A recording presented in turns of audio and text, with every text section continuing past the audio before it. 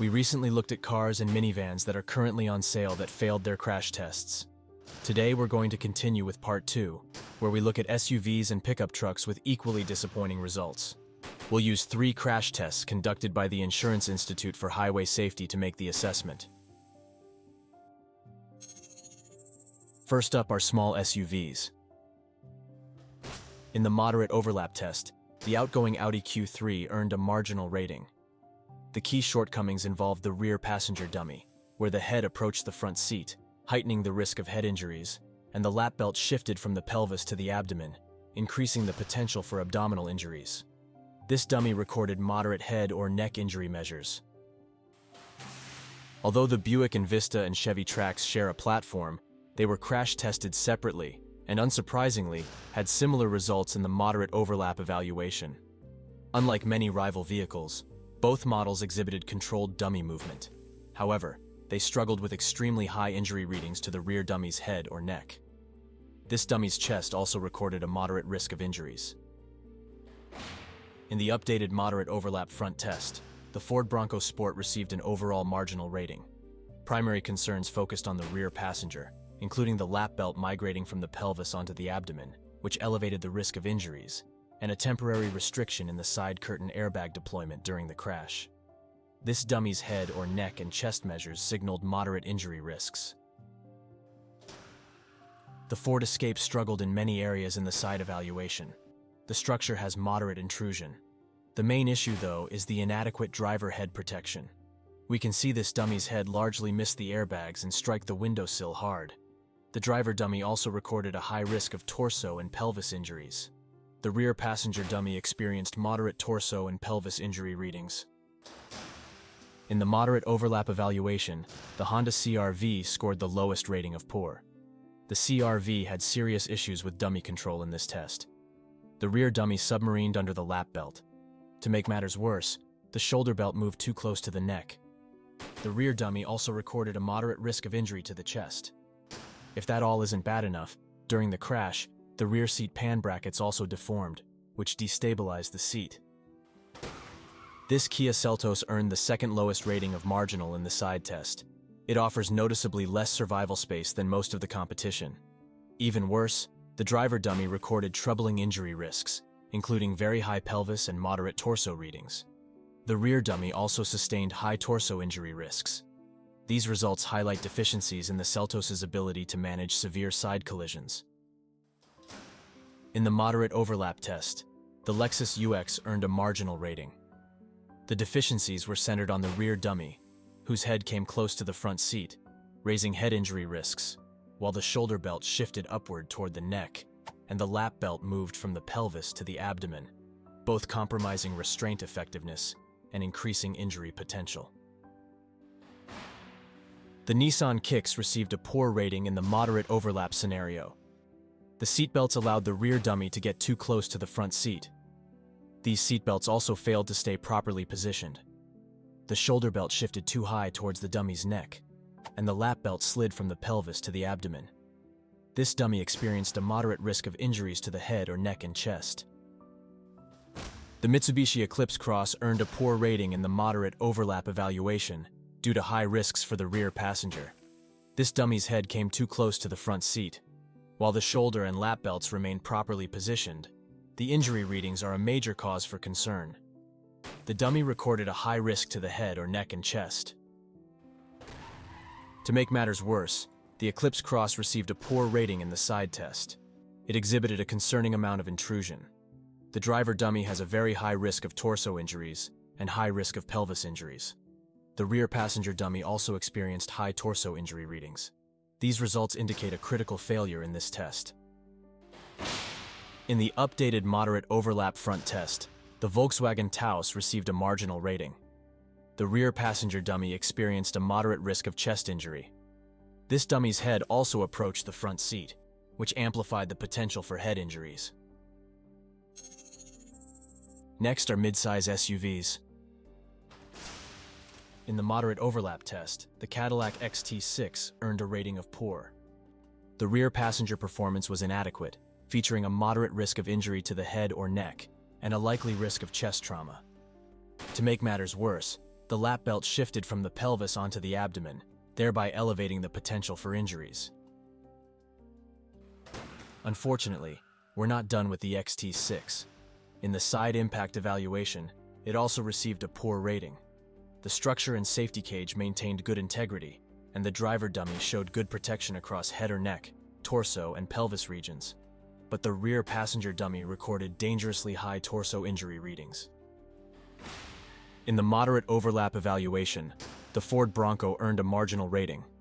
The rear passenger dummy showed vulnerabilities that contributed to the low score, including moderate head or neck and chest injury risks.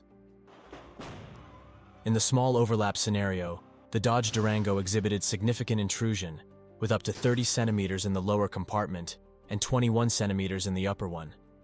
This level of intrusion exposed the left leg and foot to high injury readings.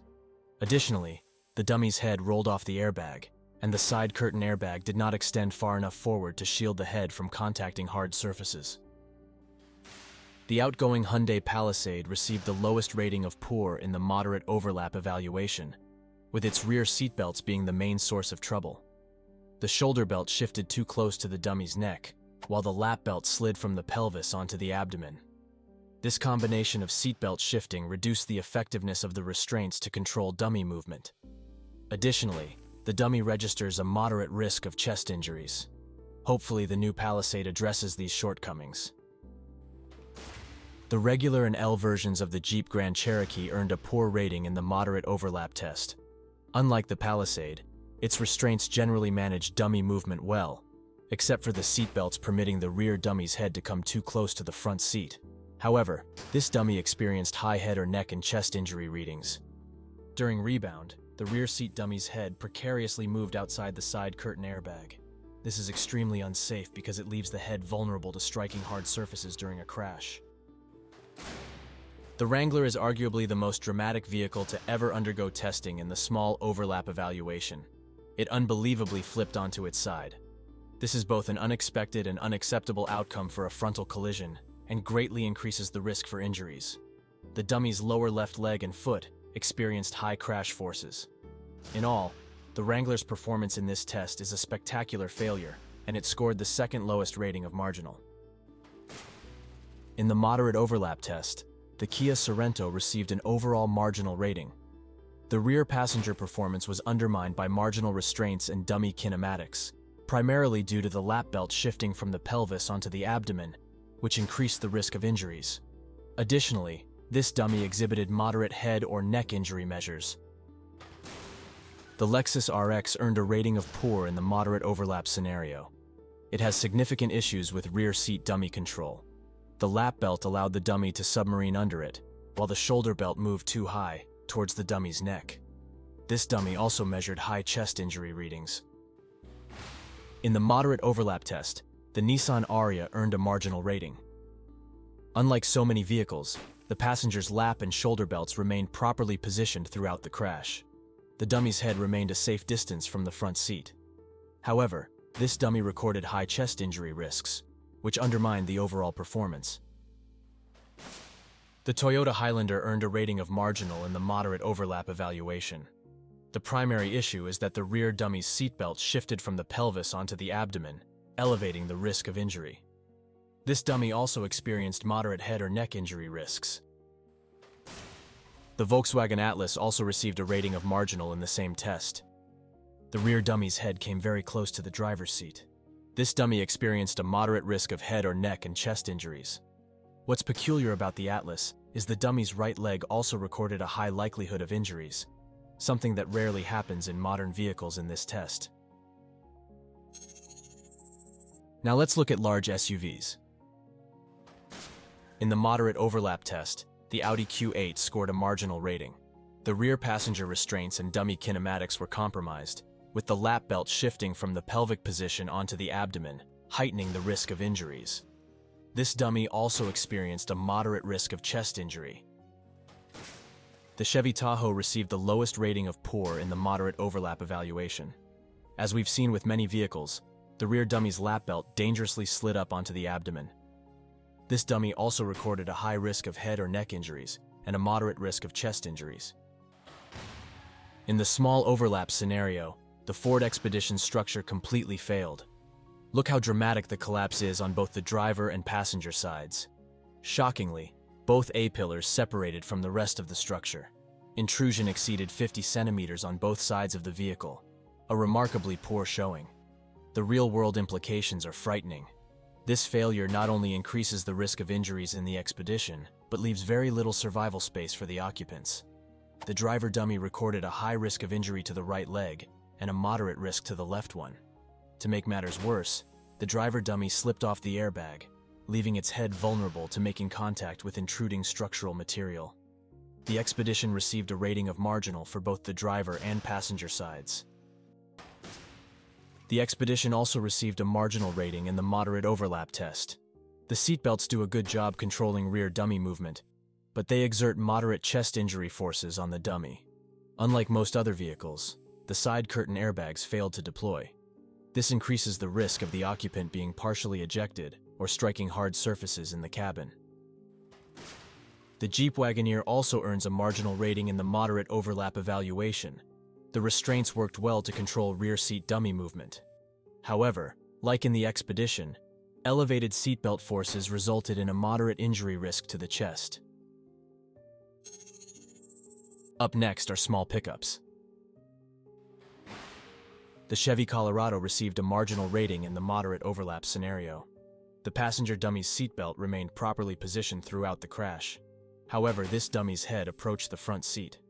This dummy also measured moderate injury risks to the head or neck and chest. In the moderate overlap test, the Ford Maverick earned a marginal rating.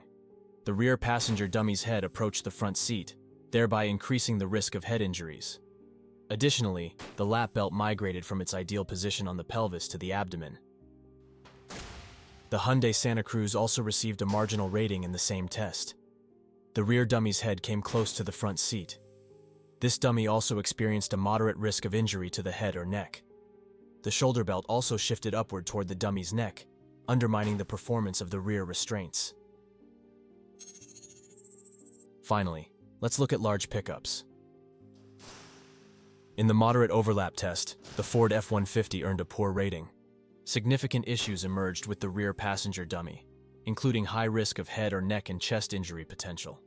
The shoulder belt shifted upward toward the neck, and the lap belt migrated onto the abdomen, both compromising restraint effectiveness and leading to poor dummy kinematics for the rear occupant. The Ford F-150 Lightning also received a poor rating in the moderate overlap scenario, the passenger's lap and shoulder belts both shifted from their ideal positions, increasing the potential for injuries. This dummy also experienced moderate injury risks to the head or neck and high risks to the chest. As we saw with the Bronco Sport, the side curtain airbag was also temporarily restricted during its deployment. In the passenger small overlap evaluation, the Chevy Silverado received a marginal rating. Extensive intrusion into the passenger compartment compromised the survival space, resulting in a high risk of injury to the right leg and a moderate risk to the left one. In the moderate overlap scenario, the Silverado earned a poor rating. The driver's head struck the steering wheel forcefully through the airbag, elevating the risk of head injuries. The rear dummy faced moderate risks to the head or neck and chest. Additionally, this dummy's lap belt shifted from the pelvis to the abdomen on the rear dummy. If you found this video interesting, you'll love this next one, where we explore the remarkable progress in auto safety over the last decade. Thanks for watching.